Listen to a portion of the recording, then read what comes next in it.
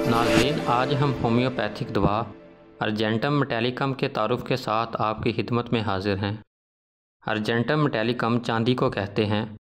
इस दवा का सबसे ज़्यादा असर कुरकुरी हड्डियों पर होता है, यानी वो हड्डियाँ जिनमें लचक पाई जाती है, और वो बसानी मुड़ जाती हैं। ये हड्डियाँ मोटी और सख्त होने लगती हैं। नाक की हड्डी मोटी होने के बायस सांस लेने में दिक्कत होती है इसी तरह कान की हड्डियों में छोटी छोटी गांठें पड़ जाती हैं और वो सूज कर मोटी होने लगती हैं।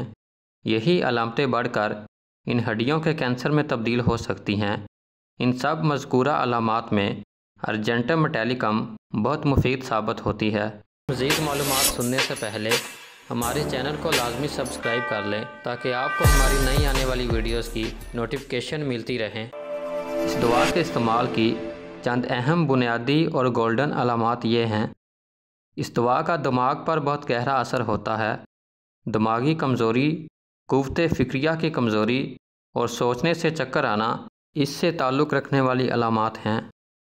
इसलिए ये तालब इलमों, उस्तादों, ज़्यादा बोलने वालों और गाने वालों के लिए बहुत मुफीद दुआ है। टांगों के उजलात की असाबी दर्दों में मुफीद है। ये दर्द रात को सोते हुए और सर्द मरतूब मौसम में बढ़ जाती है।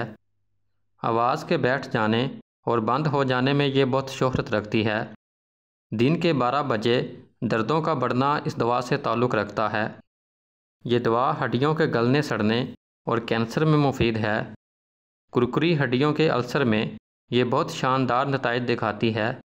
इसी तरह ये जल्द के कैंसर और अंदरूनी झिलियों के कैंसर में भी मुफीद है। अर्जेंटम मेटेलिकम रहम के मुँह के कैंसर में बहुत कामयाबी से इस्तेमाल होती है।